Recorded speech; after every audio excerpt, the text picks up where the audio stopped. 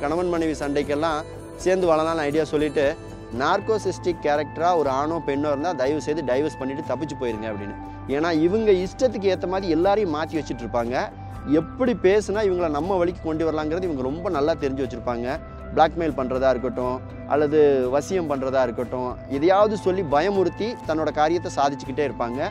இந்த மாதிரி பிடிவாத உள்ளவங்களுக்கு சிக்கரி அப்படிங்கிற இந்த மலர் மருந்து கொடுத்தா போதுமான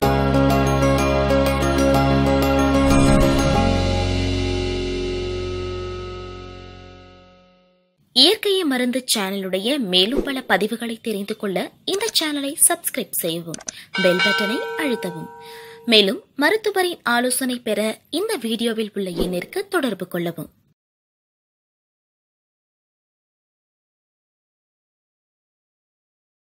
இயற்கை மருந்து நேர்களுக்கு வணக்கம். நான் உங்க பதகன் பேசுகிறேன் இன்னைக்கு இந்த வீடியோவில் நிறைய பேருக்கு இன்றைக்கி பாதிப்புக்குள்ளாகுது. ரொம்ப ரொம்ப சின்ன வயசுலேயே பாதிப்புக்குள்ளாகுது. ஒரு வய ஒரு காலத்தில் ரொம்ப வயசானவங்களுக்கு மட்டும்தான் இந்த வியாதி வந்துட்டு இருந்தது ஆனால் இப்போ இருபத்தி மூணு இருபத்தி நாலு வயசுலலாம் இந்த வியாதி வர ஆரம்பிச்சிடுச்சு.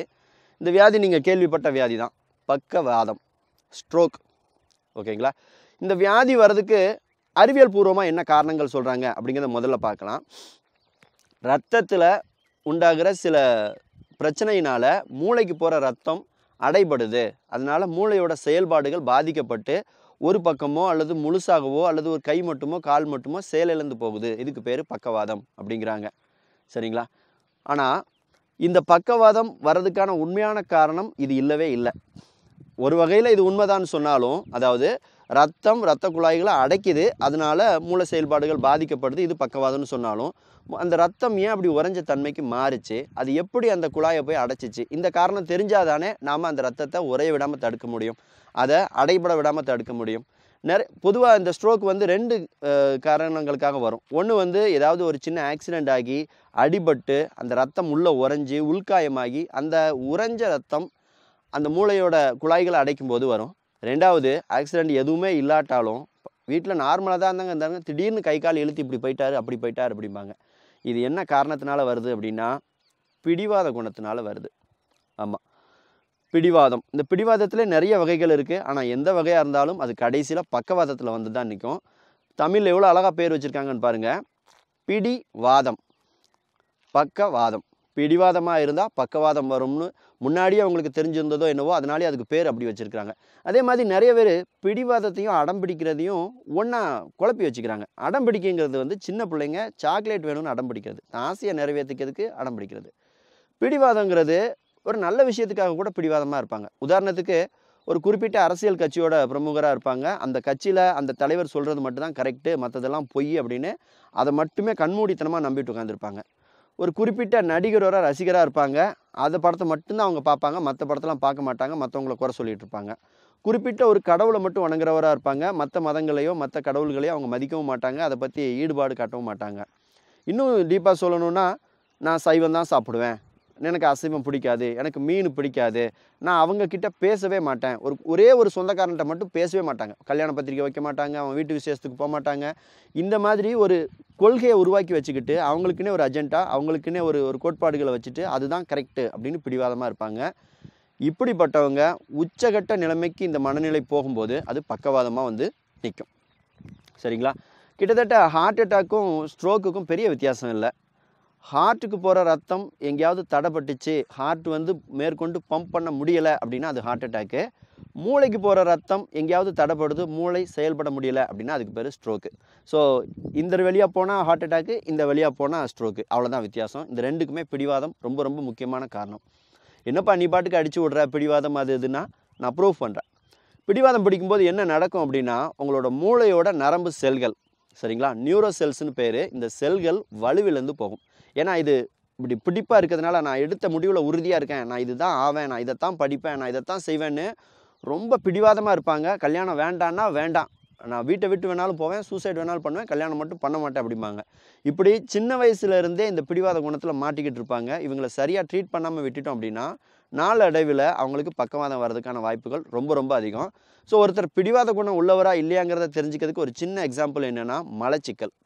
மலச்சிக்கல் ஒருத்தருக்கு இருக்குது அப்படின்னா அவருக்கு பிடிவாத குணம் ஆரம்ப கட்டத்தில் இருக்குதுன்னு அர்த்தம். அந்த பிடிவாத குணத்தினால உடலில் பிரச்சனைகள் வருதுன்னு அர்த்தம். நீங்கள் பார்த்துருப்பீங்க சின்ன குழந்தைங்களுக்கு ரெண்டு நாளைக்கு ஒரு தடவை மூணு நாளைக்கு ஒரு தடவை தான் டாய்லெட் போயிட்டுருப்பாங்க. போகவே மாட்டான்னு சொல்லுவாங்க. ரொம்ப ஏதாவது மருந்து கொடுத்தா தான் அந்த குழந்தைங்களுக்குலாம் போகுங்கிற மாதிரி இருக்கும். மலச்சிக்கல் பிரச்சனை இருக்கும். இதுக்கு என்ன காரணம்னா அந்த பிடிவாத குணம் தான் சாக்லேட் வேணும் பொம்மை வேணும்னு அழுது அடம் பிடிச்சா எப்படி அது கிடைச்சிரும்னு ஒரு அரை நாள் முழுக்க கூட அது பிடிவாதமாக உட்காந்துட்டு இருக்கும் கடைசியில் அது கிடைக்கவும் செஞ்சிடும் இந்த பிடிவாத குணம் தான் அந்த குழந்தைங்களுக்கு மலச்சிக்கலை உருவாக்குதே தவிர அதுங்க சாப்பிடுற சாப்பாடோ அல்லது வேறு பொருட்களோ இல்லவே இல்லை.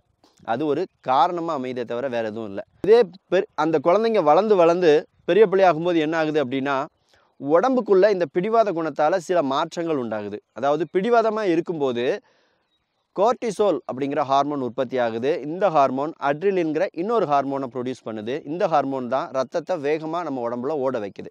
அப்படி ரத்தம் வேகமாக ஓடும்போது என்ன நடக்குது அப்படின்னா நம்ம கிட்னி கொஞ்சம் பைபாஸ் பண்ண விட்டுரும். அதாவது எல்லா ரத்தத்தையும் ஃபில்டர் பண்ணிகிட்டு இருக்காது. ஏன்னா ஏதோ ஒரு அவசரம்பா இந்த நேரம்லாம் செக்கிங் பண்ணிட்டு இருக்கக்கூடாது ஃபில்டர் பண்ணக்கூடாதுன்னு சொல்லிட்டு விட்டுரும்.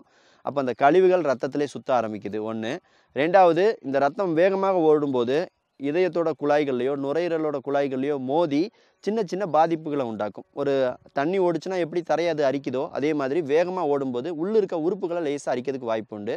ஒரு சின்ன துகள் போதும் மூளையோட நரம்புக்கு போகிற அந்த குழாய்களை போய் அடைக்கிறதுக்கு.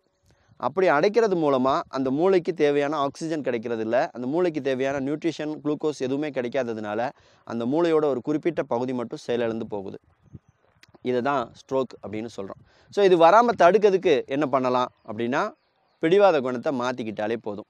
இந்த பிடிவாத குணத்தை ரொம்ப ரொம்ப எளிமையாக மாற்றுறதுக்கு மலர் மருந்துகள் இருக்குது அதில் முதல் முக்கியமான மலர் மருந்து எதுன்னு பார்த்தீங்க அப்படின்னா வெர்வைன்.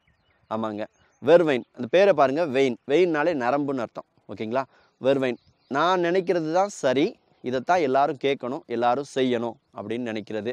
கிட்டத்தட்ட ஒரு ஒரு ஒரு பெரிய தலைவரோட மனப்பான்மை உள்ள மாதிரி இருப்பாங்க. இந்த குடும்பத்துக்கு நான் தான் முக்கியமான ஆள். நான் எடுக்கிற முடிவு தான் சரி. நான் சொல்கிறதா நீங்களாம் கேட்கணும். பெரும்பாலும் இது நல்ல விஷயமா தான் இருக்கும். பட் இது மற்றவங்களுக்கு பிடிக்காதா இருக்கும். எப்படியாவது அவங்கள செய்ய வைக்கணும்னு அவங்க ரொம்ப பிடிவாதமாக இருப்பாங்க. உதாரணத்துக்கு நான் சொல்கிற பொண்ணை தான் நீ கல்யாணம் பண்ணிக்கணும். நான் சொல்கிற இடத்த தான் நீ வாங்கணும். நான் சொல்கிற வேலைக்கு தான் நீ போகணும்னு பிள்ளைங்களை கண்ட்ரோல் பண்ணுற அப்பா அம்மாவாக இருப்பாங்க. ஸோ இப்படிப்பட்டவங்களுக்கு வெறுவைங்கிற மலர் மருந்து கொடுத்துட்டு வந்தீங்க அப்படின்னா அவங்களோட அந்த பிடிவாத குணம் நாளடைவில் சரியாக போயிடும் ரெண்டாவது யாரும் எப்படியும் போங்கப்பா. நான் இப்படி தான் இருப்பேன். நான் காலையில் வாக்கிங் போயிடுவேன் நான் காலையில் ஜாக்கிங் போயிடுவேன் யோகா பண்ணுவேன். நான் இதை தான் சாப்பிடுவேன். யாரை பற்றி எனக்கு எந்த கவலையும் இல்லை. நான் கரெக்டாக இருக்கேன்ப்பா நான் உண்டு என் வேலை உண்டுன்னு இருக்கேன் அப்படின்னு இருக்கவங்களுக்கு வாட்டர் வயலட் அப்படிங்கிற இந்த மலர் மருந்து ரொம்ப பயனுள்ளதாக இருக்கும். அவங்களோட அந்த நான் மட்டும் சரியாக இருப்பேன் அந்த மனப்பான்மையிலேருந்து கொஞ்சம் மாறி இதில் என்ன பிரச்சனை வரும்னா அவங்க சரியாக இருக்க முடியல. உதாரணத்துக்கு வழக்கமாக ஜாக்கிங் போகிறவருக்கு மழை வந்துருச்சு அப்படின்னா அன்றைக்கி ஐயோ வாக்கிங் போலியங்கிறதுல ரொம்ப கவலைப்பட்டுட்டு இருப்பார். அந்த பிடிவாத குணத்தினால ரொம்ப வருத்தப்பட்டுட்டு இருப்பார். அதுக்கடுத்து வைன் அப்படிங்கிற இன்னொரு மலர் மருந்து. இந்த மலர் மருந்து யாருக்குன்னா இந்த குடிச்சிட்டு அட்டகாசம் பண்ணுறவங்க யாரையும் கேடு கட்டுப்போங்க வீட்டில் குழந்தைக்கு சாப்பாட்டுக்கு காசு இருக்கா பால் இருக்கா அதெல்லாம் எனக்கு அக்கறை இல்லை. குடிக்கிறதுக்கு எனக்கு நூற்றி ஐம்பது ரூபா வேணும். அப்படின்னு பொண்டாட்டி கஷ்டப்பட்டு சம்பாதிச்சு வச்சதை கூட பிடுங்கி சாப்பிடுவாங்க. ஸோ இந்த மாதிரி ஆளுங்க எவனை பற்றியும் அக்கறை இல்லாதவங்க பயங்கரமான சர்வாதிகாரியாக இருப்பாங்க. பயங்கரமான சுயநலவாதியான ஒரு பிடிவாத குணம் இருக்கவங்களுக்கு வைன் அப்படிங்கிற மலர் மருந்து. V I N E vine. இந்த வைன்கிற மலர் மருந்து எதை குறிக்கும்னா நம்ம இந்த